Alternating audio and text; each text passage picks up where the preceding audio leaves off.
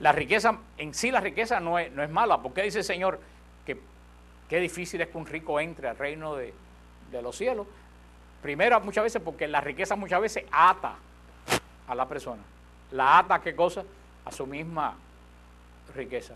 Pero tú sabes, si no hubiera rico, la iglesia no tuviera dinero que dar a los pobres. Porque con los pobres que no dan nada, ¿de dónde la iglesia? La iglesia no tiene una máquina de hacer billetes. La iglesia le da a los pobres con la caridad de quién? De los ricos, porque yo conozco mucha gente rica que a pesar que viven bien son extremadamente caritativos con todas las... O sea, que la iglesia no bendice la pobreza miserable, que tú seas pobre de no tener un centavo en el bolsillo. Lo que, ¿Qué es lo que dice la iglesia cuando dice pobre de espíritu? Es no estar atado a la, a la riqueza que tú tienes. Que es lo que vimos en muchos casos cuando aquel, domingo, aquel, no sé si fue un sábado, un domingo negro, cuando los años 1930 y pico, cuando la gran depresión que quebraron los bancos, cuántos cientos de gente se suicidaron. Y también en el año 90 y pico, también una pila de gente se suicidaron cuando hubo una, en el 94, que hubo un, un sábado negro, creo que le dijeron en Wall Street que, o cuando pasó el huracán Andrew por aquí, cuánta gente que perdió el negocio se suicidó. Esas son la gente que tienen su espíritu amarrado, ¿qué cosa? A su cuenta, a su cuenta bancaria. Eso es lo que la iglesia llama pobre, bienaventurado. Eso es lo que dice la bienaventuranza, bienaventurado, los pobres de espíritu. Son personas que tengan o no tengan, siempre están dándole gracias a, Dios y viviendo en la, en la esperanza y viviendo en la, en la caridad. Decía San Agustín, el orgulloso busca el poder terreno, mientras el pobre en espíritu busca el reino el reino de Dios. Eso es lo que habla, y en el resumen ya de esto, terminando de este décimo mandamiento, dice, pone lo que dice San Mateo 6:21, donde está tu tesoro, ahí está tu corazón. Ahí, ese es el punto de la cosa. Donde está tu tesoro, ¿cuál es tu tesoro?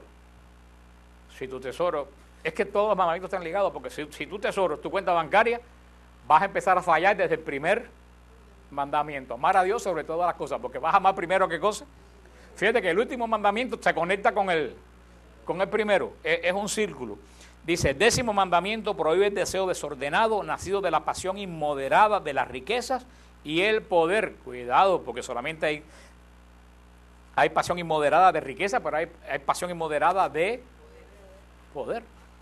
Yo no me explico a estos políticos que le pagan 3 mil dólares al año y está fajado todo el mundo por el puesto hay algo extraño ahí. Y no es el servicio, en la mayoría de los, en la mayoría de los casos no es el servicio a la población. Ay, yo digo, yo no entiendo cómo la gente se faja y gasta millones de dólares para ocupar un asiento que paga 3 mil dólares al año, que ninguno de ustedes lo quiere. Ninguno de ustedes gana 3 mil dólares al año. Entonces, ¿cómo se gastan? Es que la cuenta no me da gastar millones para un sueldo que paga 3 mil. Hay algo extraño en, hay algo extraño en eso. Dice, la envidia es la tristeza que se experimenta ante el bien del prójimo y el deseo desordenado de apropiárselo. Dice, el bautizado combate la envidia mediante la benevolencia, la humildad y el abandono a la providencia de Dios. Fíjate lo que dice aquí. El bautizado no tiene envidia, dice aquí.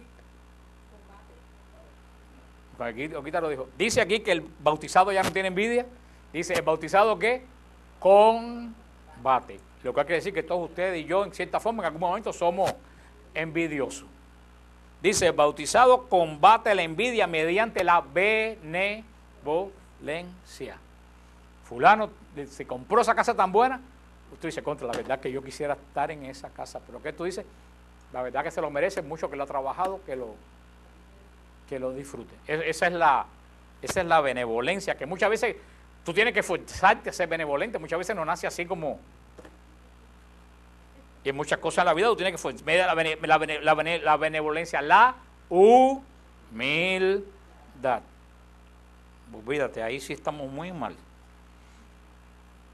Aceptar fulanito la tiene porque se la merece. Ahí estamos muy, ahí estamos muy graves. Porque siempre decimos, no, no se la merece por esto, por esto, por esto, sin mirar que a lo mejor tú tienes los mismos defectos. La humildad o el abandono en la providencia de Dios. Si, como dicen por ahí que no tiene que no está en la Biblia, pero esto, a quien Dios se lo dio, San Pedro se lo bendiga. Eso, eso es lo que quiere decir la providencia de Dios. Dios se lo dio, que Dios lo bendiga. ¿Qué tú sabes si se te da eso a ti? va a ser un desastre en tu vida. ¿Cuántas historias, dos o tres historias de Miami, de gente que se han sacado la lotería, que ha caído aquí en Miami, desde los primeros que se sacaron la lotería, que era de Santa Ágata, que tenían un taller y toda la familia trabajaba, y cuando cayó la lotería, la familia se acabó. Conozco varias familias ricas, muy ricas de Sudamérica, y tengo un caso en específico en la mente, que son ocho hermanos, y el viejo tiene 90 años, no se ha muerto, está hablando de billones de dólares, y están todos que se desean la muerte unos a otros por un dinero que deseando que el viejo se muera. Yo no quiero eso, yo no quiero tener dinero así. Conozco una de las familias más ricas de Miami. Bueno, aquí conocen el caso, que el nieto de esa familia, pudiendo ser un príncipe, vive en un carro abandonado en el downtown. Todo churrioso. Porque darle, darle, darle lo llevó a la droga. Y lo han metido, han gastado 70 mil, 80 mil dólares en, en lugares nada. Lo trajeron aquí en Nuevo Caminar, pero ya la mente de él está tan dañada que ya ni siquiera puede razonar los retiros que se le dan. ¿De qué vale ese, de qué vale ese dinero ante un hijo que no quiere salir de un carro abandonado en el downtown y que no se baña? ¿De qué vale ese dinero? ¿De qué vale los millones?